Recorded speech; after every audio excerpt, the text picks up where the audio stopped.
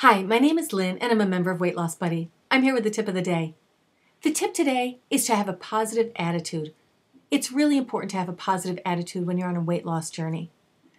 Take the time to really look at your goals and determine what it is that you are doing that's not healthy for you and make that change. You need to be determined and you need to know you can do it. Be your own cheerleader. We know you can do it.